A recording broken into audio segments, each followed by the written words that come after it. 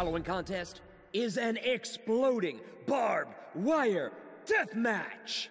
And it is for the All Elite Wrestling World Championship.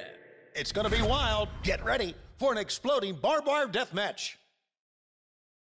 Introducing the challenger, Jungle Boy.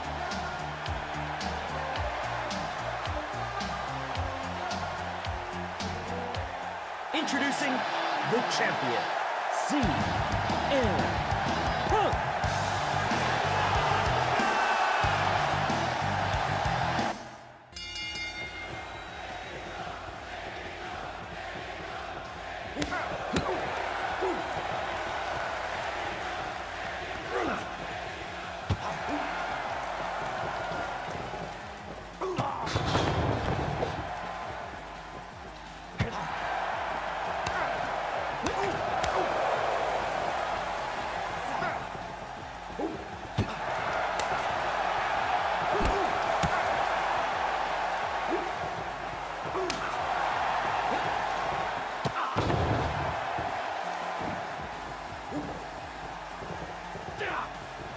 One,